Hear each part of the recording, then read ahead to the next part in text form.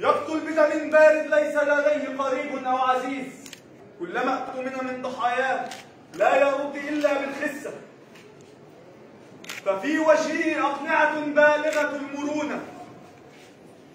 طلاؤها حصافة وقعرها رعونة. فصفق إبليس له مندهشا وباع فنونا. وقال له إني راحل ما عاد لي دور هنا. دوري أنا قد لعبته كما يجب أن يكون. إن النيابة العامة في سبيل إظهارها الحقيقة. ظلت تبحث عن سبيل لما سلكه المتهم من جرم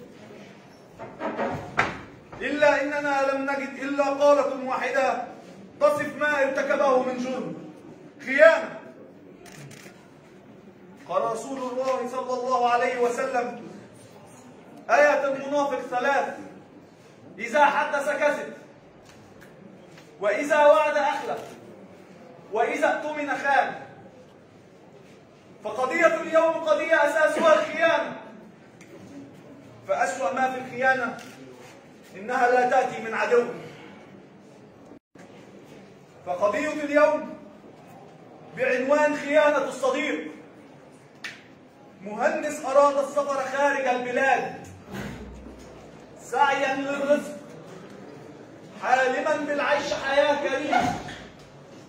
متحملا مشقة السفر ومرارة الاغتراب